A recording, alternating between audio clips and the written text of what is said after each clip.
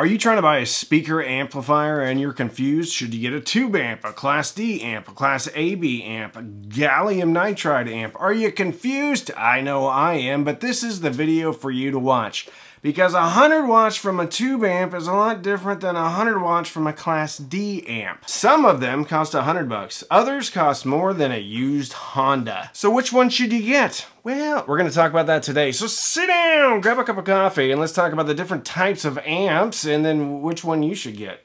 Mm-hmm.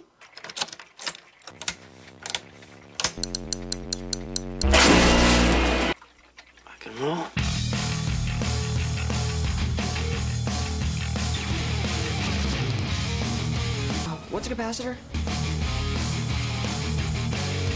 I will electrocute you. We're gonna talk about tube amps.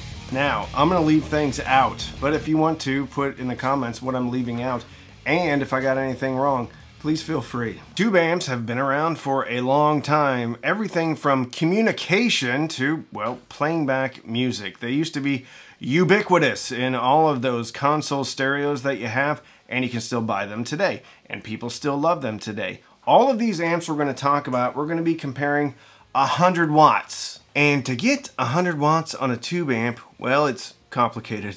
Kind of difficult too. Because they use glass tubes and output transformers. There's huge voltage swings, but people love tube amps. People love tube guitar amps too.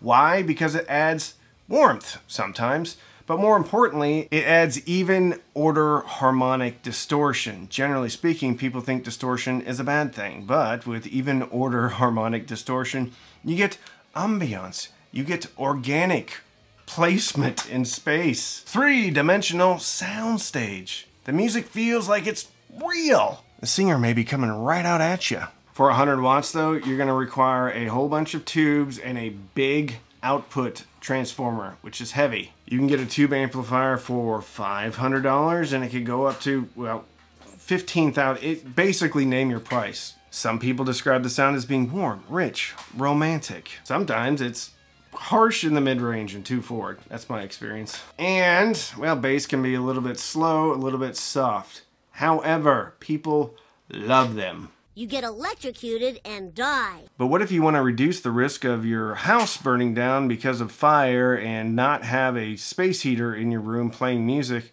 Well, then the next amp type is for you. Class A amps. They use transistors, technology, and they're always on.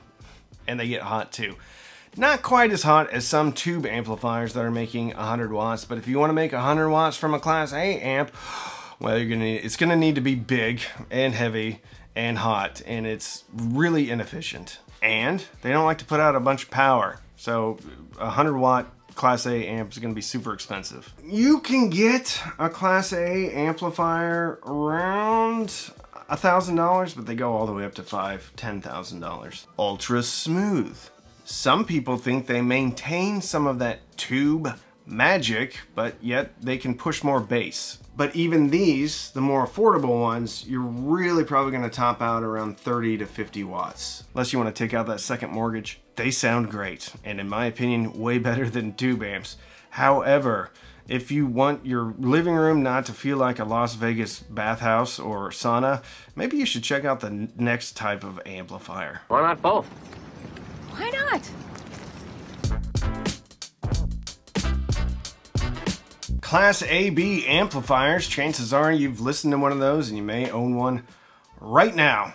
They're awesome. Now you have even more technology. You have two types of transistors and they're sharing the workload. And this amplifier is not always on.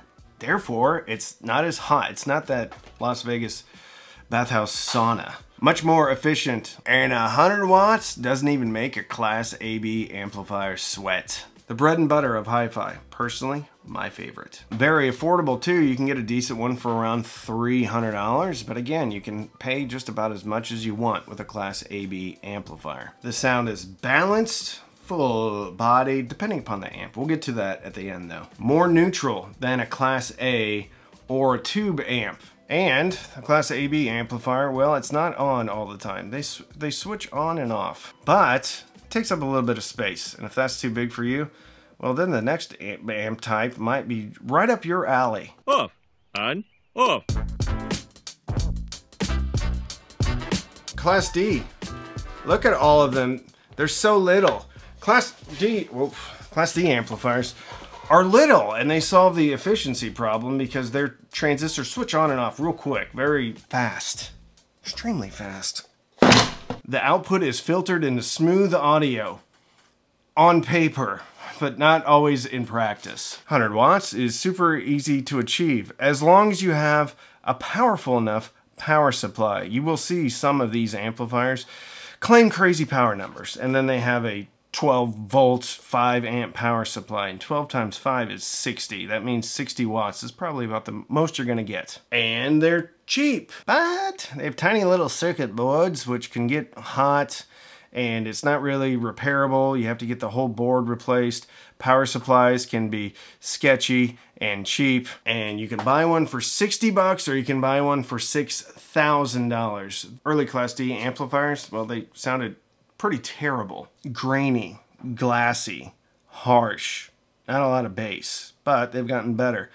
Texas Instruments 3255 amp chip, really all the 3200 family, is fairly good, sounds pretty organic. And the more expensive ones can, well, also sound thin, grainy, inorganic. However, they've gotten significantly better in the last few years. Not my first choice, however, in a pinch, Class D amplifier will get you through. But sometimes you have to kiss a lot of these paperback book sized amplifiers before you find that wonderful leather bound prince of an amplifier. That's a terrible analogy. Gallium nitride. It's the latest and greatest thing. It's pretty heavy too. Instead of using a silicon chip, these use a gallium nitride transistor. It's faster switching and cleaner. Less distortion, more efficient, kind of like Class D, but took some testosterone replacement therapy and then went to finishing school. It's a refined monstrosity that may still have emotional outbursts at inappropriate times. They're kind of expensive right now, around 1,500 to $2,000. Sounds perfect. What's not to like? Well, I don't like anything new. And if anybody says something's really good, like a new restaurant, I don't want to go there. I don't know why. Probably because I'm counterculture, Gen X, something like that. But new things scare me. So what does all this mean? See, I knew there's a catch. There's always a catch. Tubes are beautiful, fragile, low powered, and a good one's expensive. And you're gonna have to change out a bunch of tubes that are no longer made and have to be shipped in from other lands. Class A, pure, but hot and inefficient and expensive to get some decent power out of them. Class AB, reliable, workhorse, been refined. Parts are inexpensive, designs are mature, they're awesome. Class D, efficient, cheap. But guess what? I mean, there's still a whole bunch out there that sound like garbage. Even some of the more expensive amplifiers from established brands sound like garbage, thin, clinical, not organic. It doesn't sound like music to me sometimes. But just like the internet, Class D amplifiers seem like they're here to stay. And gallium nitride. Everybody's talking about it. However, it's new, it's pricey. It doesn't have the track record that Class AB or even Class D has at this point. And here's the biggest takeaway. There's not one right answer. Even Class AB amplifiers, which I love, are a mature technology, a known quantity. They all sound different. It depends on who designed it and what parts they used to make it. You can't just say Class AB is better than Class D. Well, you can't actually say that. You can't just say Class AB is better than whatever because they all sound different. You can't just say Class D sucks, even though most of the time it does, because they all sound different. It's like a painter. Give two people the same paints. One makes the Mona Lisa and the other makes dogs playing poker. One goes in the Louvre, the other one goes into a blockbuster bathroom. I've used these jokes before, I hope that you like them. There's also things to consider, like power supplies, noise, crosstalk, all that stuff can be refined on well, almost all of these amplifiers. Because a 2001 Hyundai Accent is a car, and so is a Mercedes S-Class. I don't particularly like either of them, but they're both cars. They both use internal combustion engines, but they both give you a very different experience. One has rolled up roll up windows like that, uh, five speed uh, manual transmission, and the other's German. And while everyone's falling all over themselves to pat GAN, GAN, gallium nitride amplifiers on the back and crown them the greatest thing on the planet, well, guess what? Those all sound different too. So, which one's the best? Well, it depends on you. Some people like dogs playing poker, other people like the Mona Lisa. Personally, I like Norman Rockwell. Doesn't mean any of us are wrong. So which one is for you and why? Put it in the comments. And if you put that in the comments, tell me which one is your favorite. If you like this video, why don't you check out a video about why cassettes are the best physical media format ever created by man, not because of how they sound. I will put that one right up here. I'll put another one up here about the truth about bookshelf and tower speakers that nobody's talking about. If you want to support the channel, you can check out some of my merch. I'll have that in the description. Also check out my Patreon community. It's awesome, and my patrons are a lot smarter than I am. Thank you for watching.